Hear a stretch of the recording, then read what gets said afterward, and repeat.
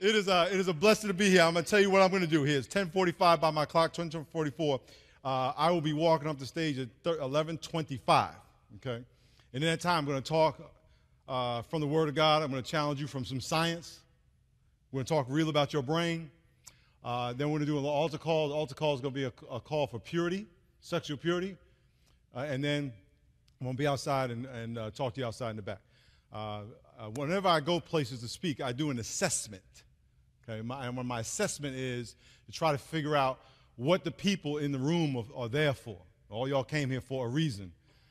Okay, and so I want to do an assess- I want to share with you my assessment, not based on just judging you looking around, because this is kind of a it's not a judgment call. It's kind of based on you know the the publicity and the, what the event's about. So I have to say, you know, I always ask, what do you want me to talk about? Who's going to be there? Is going to be guys and girls? Because because it's all guys, we can talk different than if there's women there. Can I get amen? If there aren't any women in here, you will be subject to our conversation, and if it offends you, that's your that's on you. Can I get amen, fellas? We will take no provision for any women to hear this message. And if you are confused about your gender, God made you a man.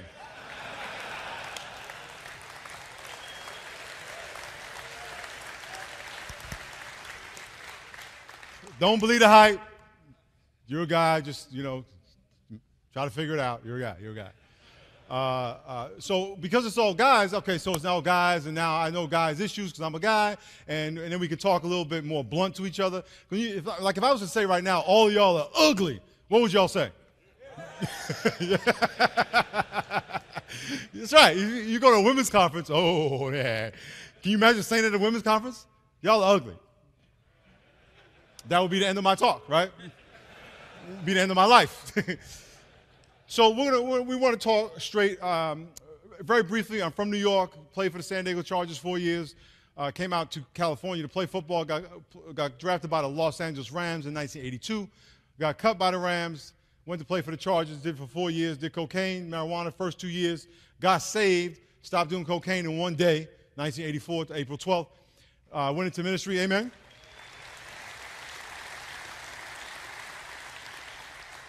Went into ministry with Mike MacIntosh down in San Diego, a Horizon Christian Fellowship in 1986. Started a church called the Rock Church in 2000 in San Diego.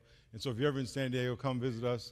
And we love to get down with the Word of God, and, and we do a lot of ministry. We have, we, uh, last year we did 235,000 hours of volunteer service in the community. That's our thing. We get people out doing the work of the ministry, not just, you know, talking about it. And so that's our thing. So we're very excited. Uh, and I'm going to preach a message to you today about the worst sin there is.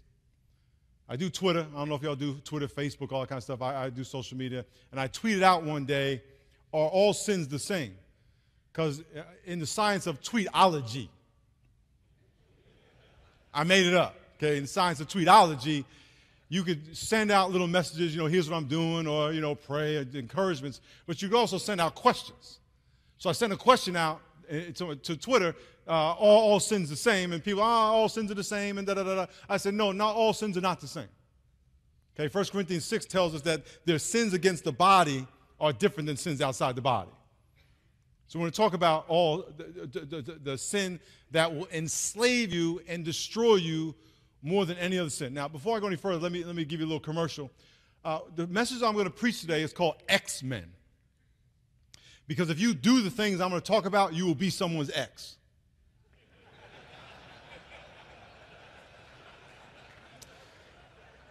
now, another thing about being in a room full of guys, you know, some guys are slow.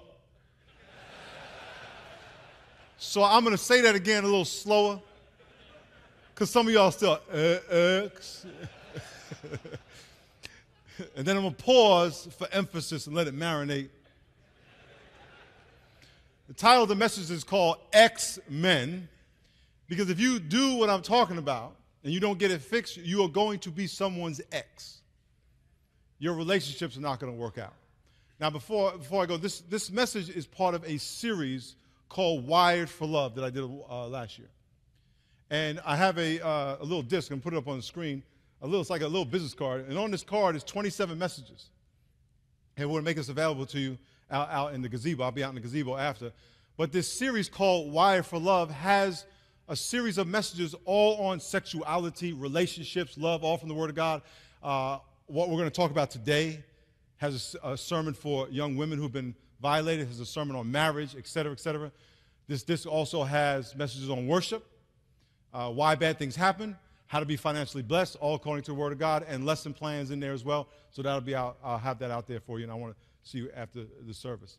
Um, I want to pray, and I want to pray that not only what I say is clear to you, but that you receive it and that you allow God to do in your life what he wants to do. Y'all going to hear messages all day. I know you, you've been hearing the word of God. I've been back here all morning since Chuck Smith was here. And I know you're hearing a lot of information. But at some point, if you don't take that information and put it into action, you're just kind of wasting your time. Okay? And the only way you're going to know that the word of God is having any impact on your life, it doesn't, good just to, it doesn't do you any good just to hear it. You have to actually let it transform you and you have to do it. And so I'm going to challenge you to do it Okay, we're going to call some of you guys up here. Uh, and I want to challenge all y'all who have sons. How many of y'all have a son? Okay, very good. Your sons need to hear this message and need to get that serious. Because the devil's going after your son. Some of y'all are, y'all are going to die soon, so he's kind of almost done with you. Can I get amen? amen.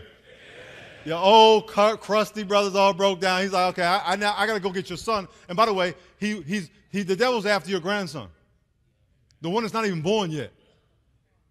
The one that's not even born. The devil's very strategic. He's a mastermind. Okay? So I, I want to turn to Genesis chapter uh, 2.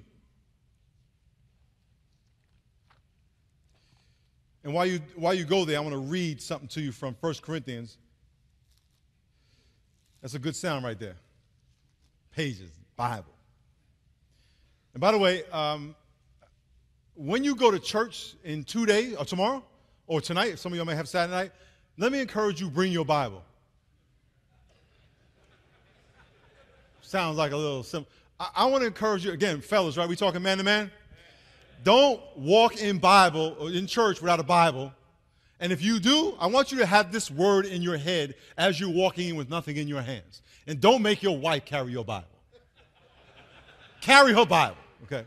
I want you to have this word in your hand, in your head, if you walk in church without a Bible. I'm an idiot.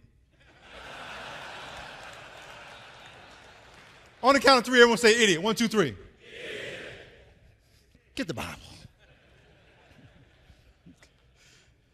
1 Corinthians 6.18 says, flee, everyone say flee.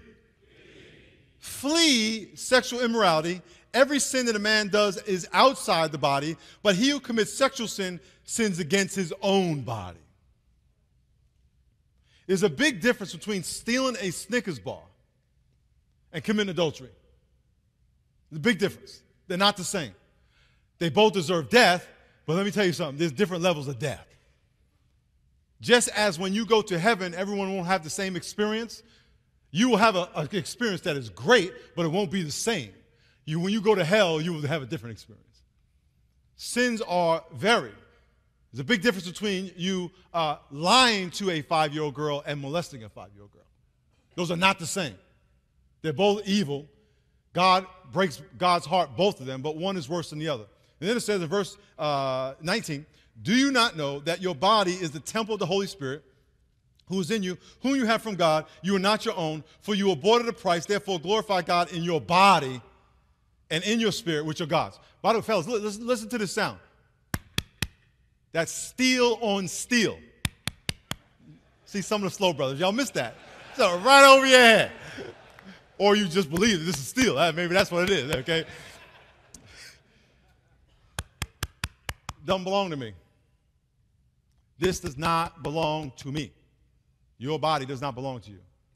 Okay? It belongs to God. God says, I want your body. I want you to make your body your slave. And I want you to do make it do what I want it to do. Okay?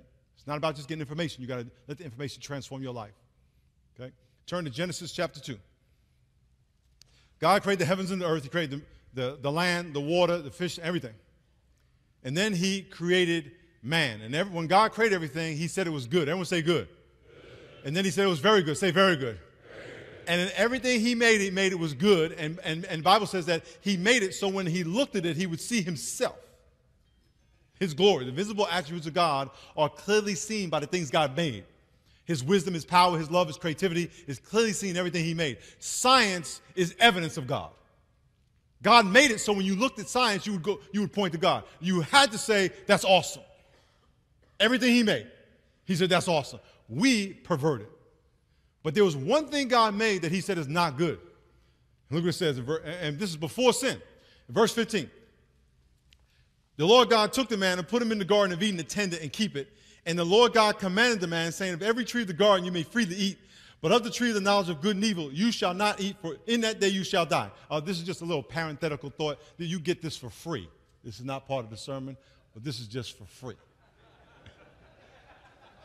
Little nugget. It's a little McNugget. Uh, Adam's in the Garden of Eden, there's no sin, yet there are still rules. Adam's in the garden, there, there's no sin, there's no death, but still there are rules. You will never be any place where there are no rules. Even if when you go on vacation, you say, hey, well, no rules, do whatever you want, that's a rule.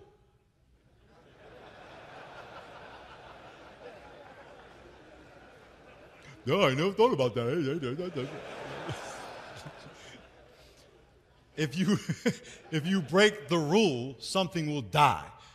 Death is not only the cessation of living and moving, death is a separation from life, but it doesn't mean you don't exist. You will never cease to exist, and you will never cease to feel and sense and know.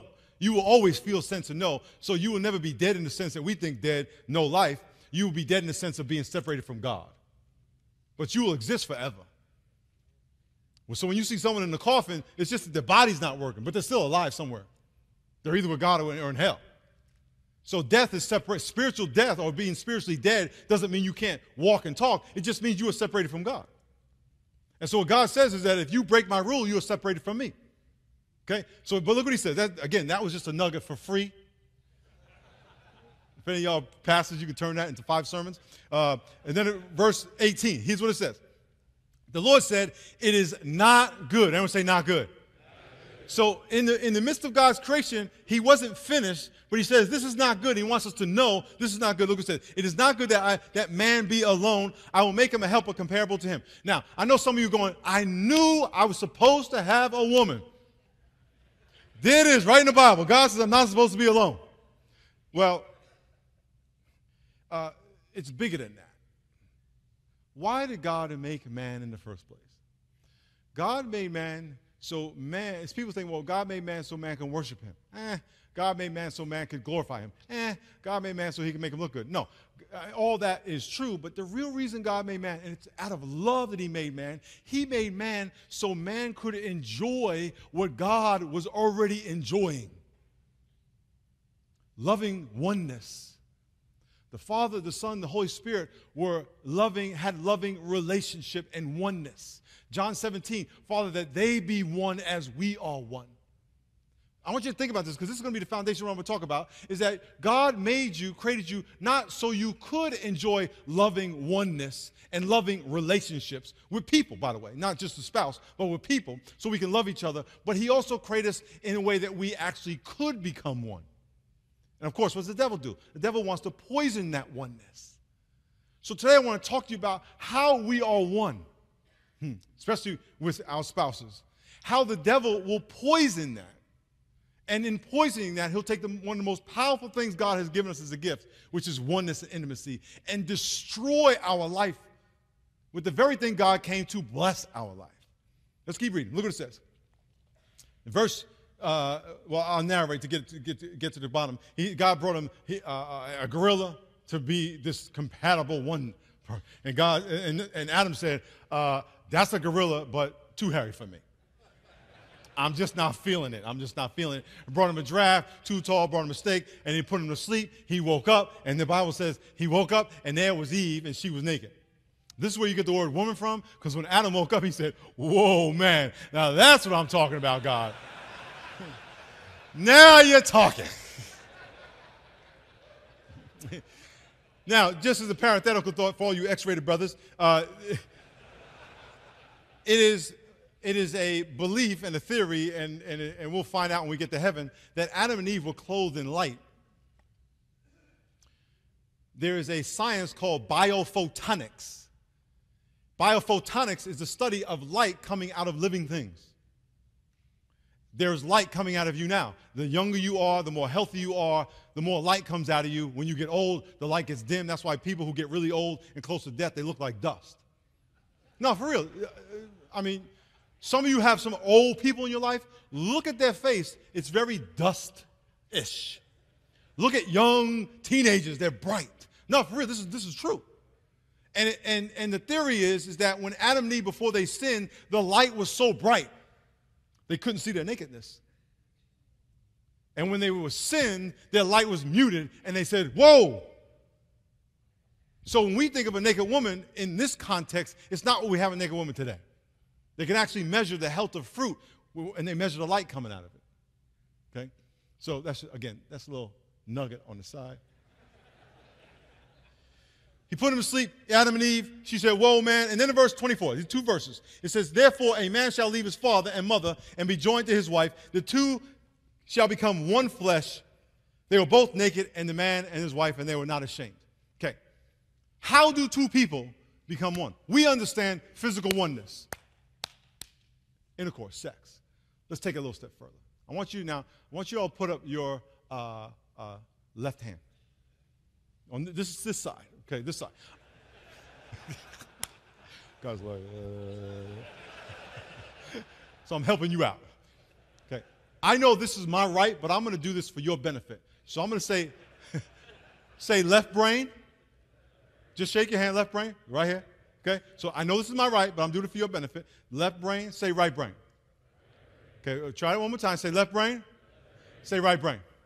Okay. You can put your hands wherever they were before. God says a man and a woman are going to become one. We understand physical contact, intercourse is oneness, physical, emotional, mental. That's why it's so intimate and so powerful. Goes further than that.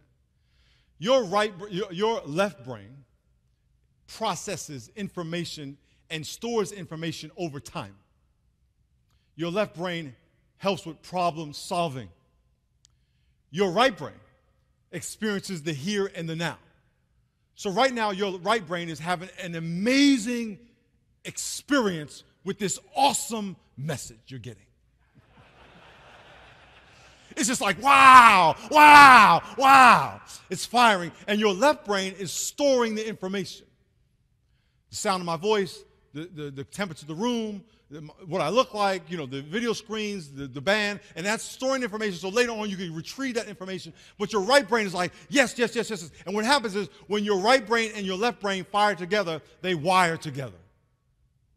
And so one side of your brain fires, uh, which is the here and now, and the long term, they wire together, and you are able to interact with that information. When you are intimate with your wife, you have your right brain firing with all the experience of the moment the sounds, the smell, what you see, what you experience, what you feel, uh, what you feel physically, emotionally. All that is being fired right now, and the information is being stored on your left brain for later reference. Okay?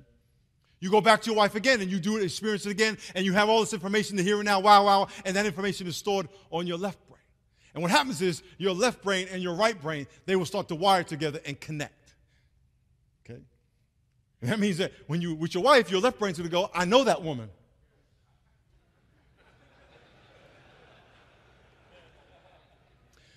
and you will know what to do. Your wife is actually hardwired into your brain. You are hardwired into your wife's brain for good and for worse, whatever that is. And she'll remember your sound, she'll remember your habits, she'll remember your touch, your voice, she'll remember your heart. She knows everything about you, and that's stored. And the more you're with her, the more of you is actually physically in her head, stamped on her brain. Matter of fact, when you have a memory, you have a physical imprint on your brain. Are you following me? so you got right brain, the here and now, the long term on the left. Now you have to understand that uh, sex is about pleasure when, when, when the Bible says the two shall become one, that oneness is not only the sexual pleasure, but it's also the bonding of sex. Sex is, God intended sex not to be uh, a pleasure thing only, it is about bonding. How? In your brain, you have neurons called mirror neurons. Mirror neurons enable you to look into someone's eyes and to mirror their feelings. In other words, when you see someone crying and you cry, you see someone happy, that you could actually connect with that person. Do you know that all, all the animals in the, king, the animal kingdom, God made humans, one of the only creatures in the world, to mate and to be intimate face to face. If you think about Discovery Channel, all the porn you see on Discovery Channel, it's not face to face. The animals do, don't do it face to face. The intimacy is not an issue. God says, I'm going to make you face to face, and you're going to be able to look in her eye and connect and have the same heart. And by the way, I want you to think about this with your spouse that you look her in the eye, knowing that God created you where you connect with her heart. Because it's not about a physical act, it's about oneness and that you can connect with your wife's heart and actually be one with her and actually look in her eyes because you know if you've been married a long time, you can look at your wife's eye, eyes and know what she's thinking, know what she's feeling. And if you're a man, you will deal with what you know. And if you're not, you'll say, I'm going to ignore it because I don't want to deal with it. You know what I'm talking about. God says, I can make you where you can be one. And by the way, you can look at her eyes and you know that look and you could store it in your left brain. And you know how to minister to her based on what you see, what you know in your heart. God gave you that, that ability. Oxytocin is a hormone men have a little of, women have a lot of. Oxytocin is a bonding hormone. If you see women, they are very touchy feely. They'll hug each other, hold hands, and they're just so ah, because they have they have a lot of oxytocin. They like to bond. Matter of fact, when a woman breastfeeds a child, the oxytocin goes up. It bonds her to the child. That's why your kids will run to your, your wife instead of you. Who are you?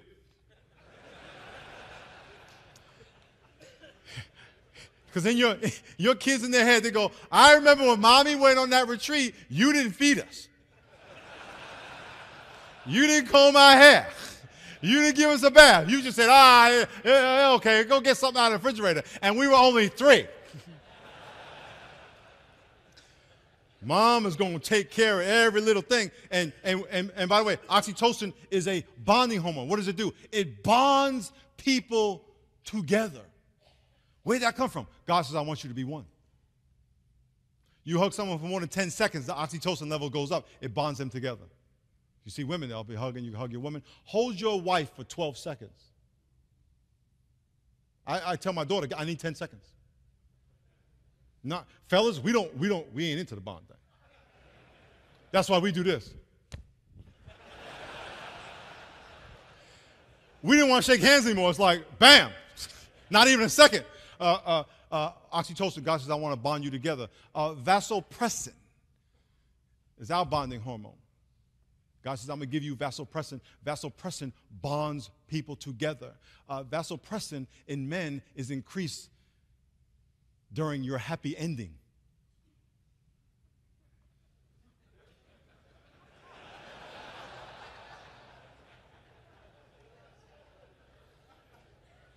There's a whole bunch of dudes in here going. I want to ask somebody what that means, but I don't.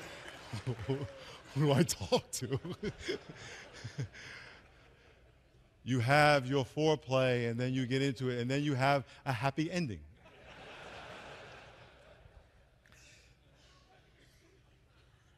Vasopressin and men go up during your happy ending. Why? Because God wants you to bond with that person. He doesn't want you to use that person. All this is in your head. And God says, That is your wife. That is your mate. Look what he says the two shall become one. Huh. The two shall become one. I'm just going to give you this for free. There's, some, there's guys in here right now going, Are we paying for this? Are they going to bill us?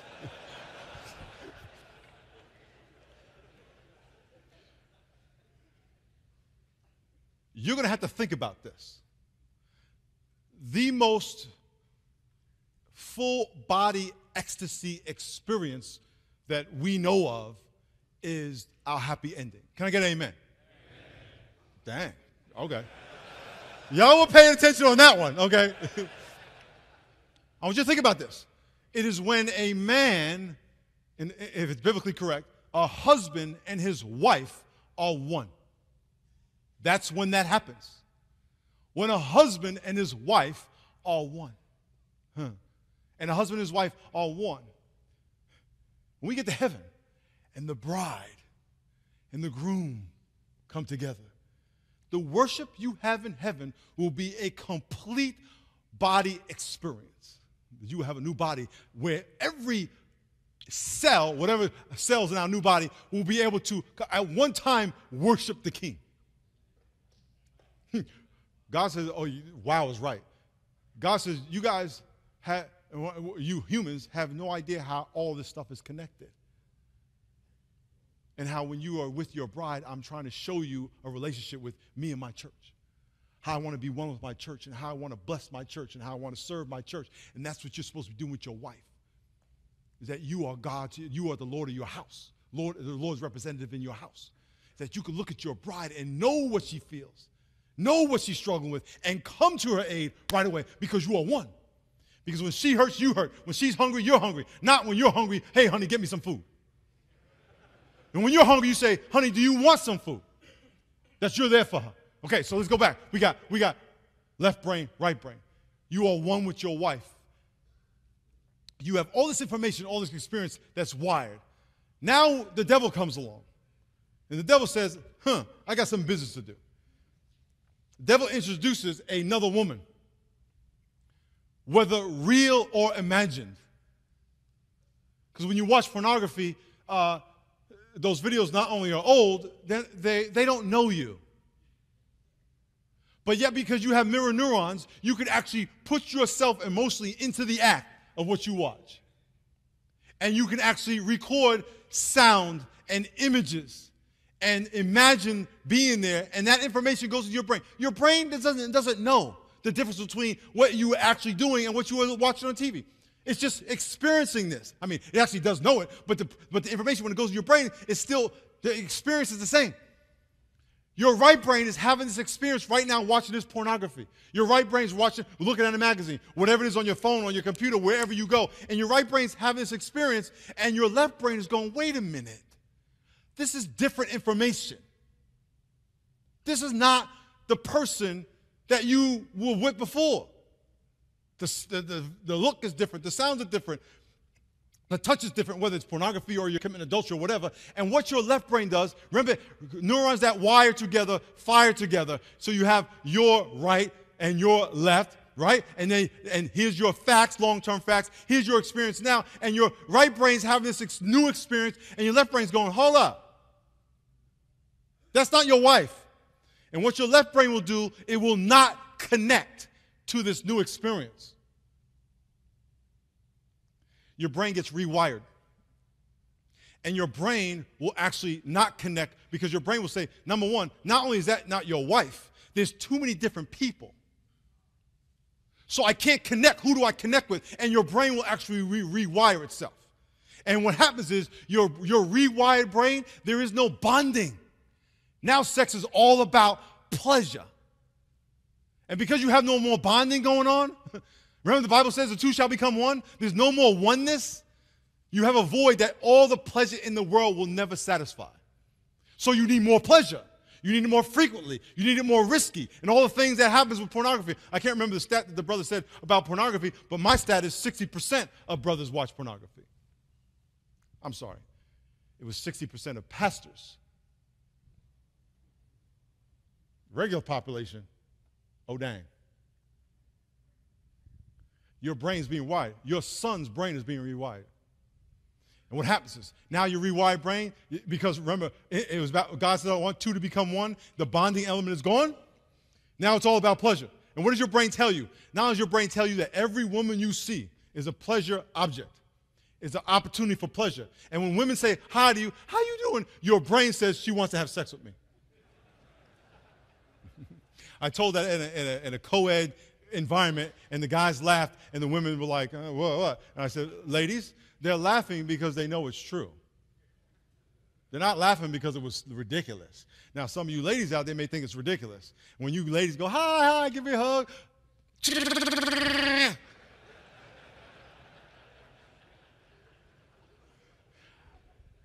this could be a moment for give me an amen, but I don't want to do that. The devil just enslaved you. Remember the verse I wrote? Uh, oh, well, let me read this. Tell you this verse. Uh, John 8 34. He who commits a sin is a slave. You are a slave now. Your brain is rewired to program you to sin. You can't just turn it off. You can't. You're a slave. And you, you will leave work to go watch pornography. You will flirt with women and talk with women and hug women with your mind going crazy. A kid came up to me at our school one day. We did chapel. We have a school at our church, and he, and he was coming out of chapel during the day, seventh, eighth grader. Never saw the kid in my life. The kids were walking out. We were in the lobby of the church, and he goes, Hey, Pastor. I said, What? He says, uh, Is masturbation a sin? I was like, "I kind of caught me off guard. You know, what just what came out of Just wasn't what I was expecting. And I, you know, I, I was taken back for a second. I kind of looked bewildered, like, you know, hi. But he just, matter of fact, you know, hey, and, and he thought my reaction was due to the fact that I didn't know what masturbation was. So he proceeded to tell me all the different words that you can use to describe masturbation. You know, and he started just going down the I said, brother, I know what masturbation means.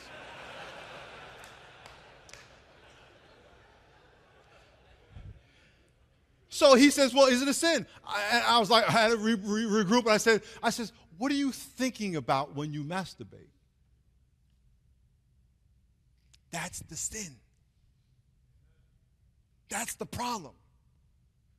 Is that your head is over here. You are sitting in your mind. Fellas, the devil says, God says, I want you to be one with one person. That is plenty. That's plenty. The devil says, No, I want to give you more. And what he does, he actually will rewire your brain. And now your brain, you're enslaved to a brain that will never be fulfilled, ever, because you have no bonding. One of the, one of the great tragedies of the, of the gay movement is, is the promiscuity.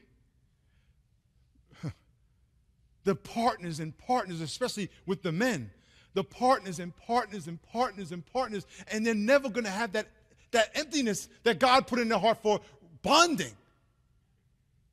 But that, that is something that some of y'all need to say, Lord, you need to go to that new man thing, that, that new man curriculum. You need to get it because the Bible says if you present your body a living sacrifice, holy and acceptable to God, which is your reasonable service, don't be conformed to the world, but your mind can actually be renewed and transformed. How? By praying. Praying will actually rewire your brain and correct it. Memorizing the Word of God, committing scripture to memory, thinking on things that are praiseworthy and excellent and good and excellent, and, and, and, and, and that your brain will actually start to pro- work properly. But you have to say, Lord, I need my brain renewed.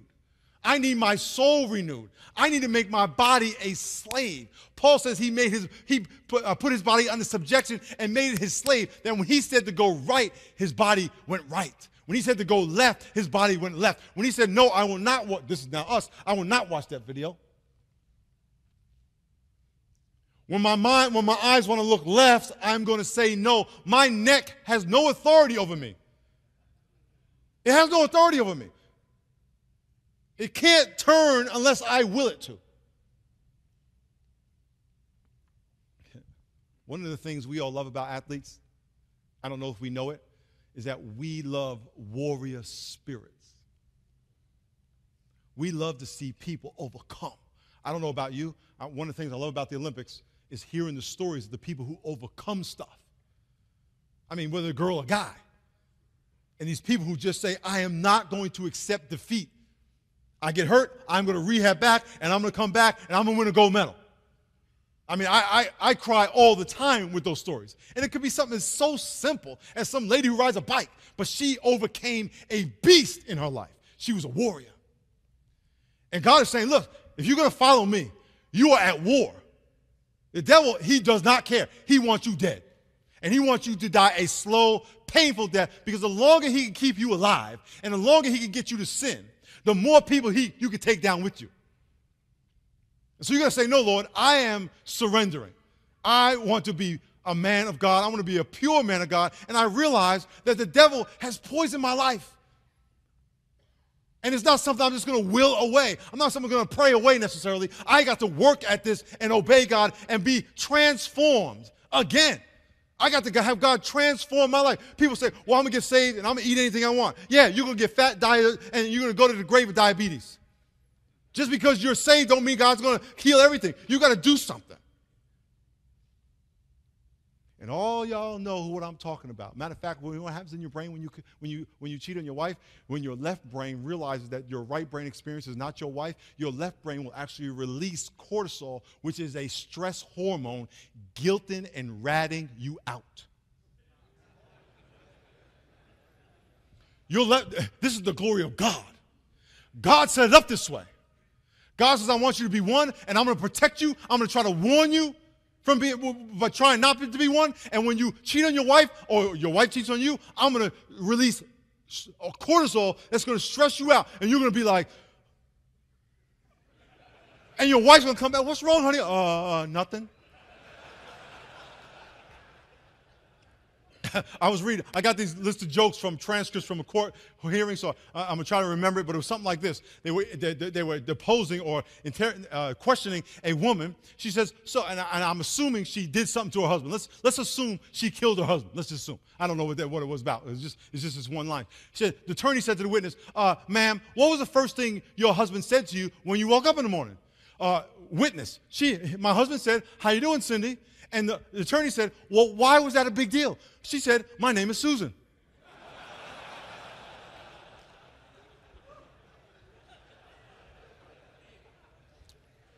Women, when they found out their wives were cheating on them,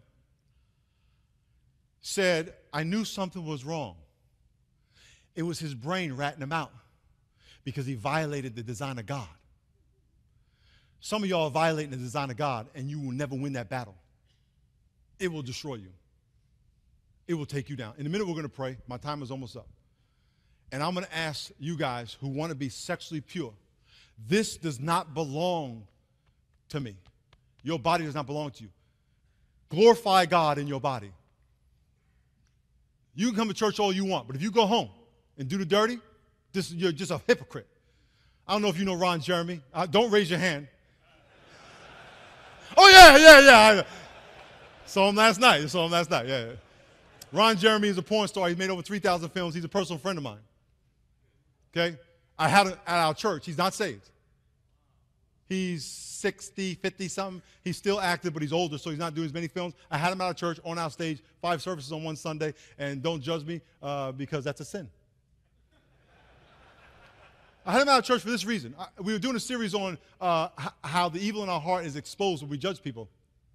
So I brought him up and I said, Ron, uh, you're not a Christian, you're Jewish, you're a porn star, you, know, 3,000 women or whatever it is. Uh, how have Christians not loved you right? We just want to know. We don't want to choir preaching to choir. You tell us. And, and I said, I said, one out of every two of you guys out there uh, watch pornography. One out of every six women watch pornography. By the way, if you watch pornography with your wife, both of you are taking multiple partners in the bed. You're not having, you're not making love to each other. It's all a fake. You're making love with who's in your head. So I said, one out of every six women, one out of every two guys, and the day that pornography is watched more than any other day is Sunday. So, Ron, you you you uh, engage in pornography. We just want to know how people loved you. And by the way, uh, Ron's not the hypocrite in this room at all. He's being who he is. Y'all are the hypocrites. Because some of y'all come in, hey, praise the Lord, praise the Lord, praise the Lord, and then you go home and watch your video. So don't be judging him or don't be judging me. Get your act together. In a minute, we're going to pray. Amen. In a minute, we're going to pray.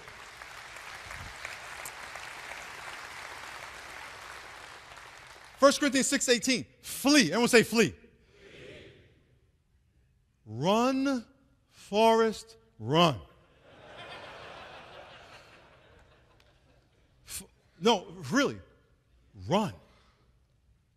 In a minute, we're going to pray. You got to say, Lord, I, I don't want to be a fool to think that I can do this and get away with it because I cannot.